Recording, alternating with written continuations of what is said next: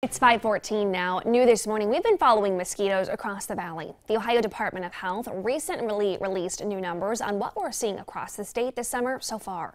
First News Weekend morning anchor Connor Kick is live in our newsroom with more on the trends. Connor.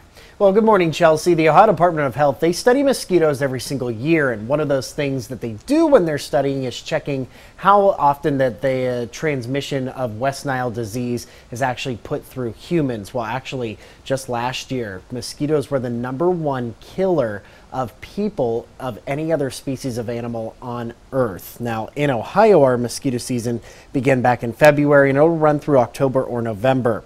In Ohio, we're dealing with three separate species of mosquito. If you remember back in spring when we had a ton of rain, that created great conditions for the mosquitoes to breed and populate over bodies of water or standing water. Even though it may not seem like it, we're predicted to have wetter than normal conditions across the Midwest this summer. So Ohio is currently slightly above the average threat level. The numbers are really promising and positive so far, though. This year, the Ohio Department of Health has taken over 1,500 mosquito samples. 56 of those mosquitoes tested positive for West Nile disease. Now, this also has been a zero human cases of West Nile across the state as well.